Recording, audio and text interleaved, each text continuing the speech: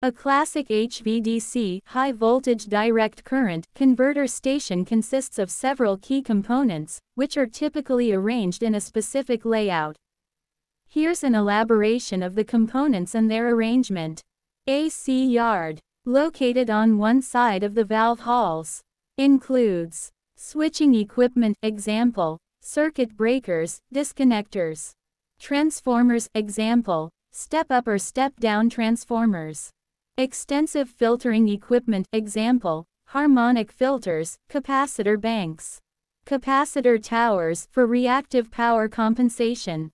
Purpose. Connects the HVDC station to the AC grid.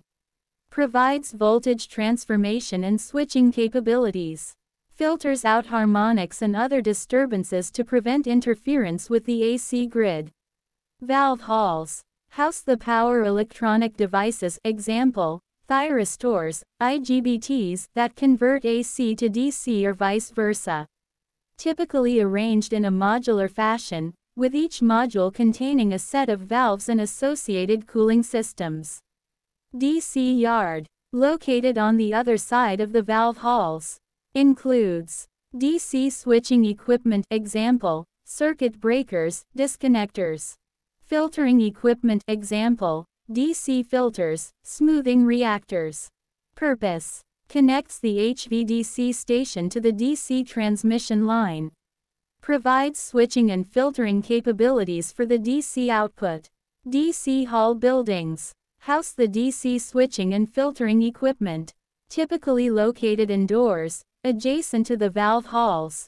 Purpose provides a controlled environment for the DC switching and filtering equipment. Protects the equipment from harsh weather conditions and other external factors.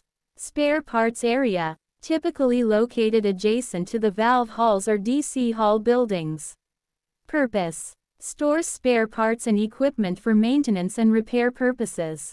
In summary, the classic HVDC converter station design features a larger AC yard with extensive filtering and switching equipment, a central valve hall area with power electronic devices, and a smaller DC yard with switching and filtering equipment. The DC hall buildings provide a controlled environment for the DC equipment, while the spare parts area supports maintenance and repair activities.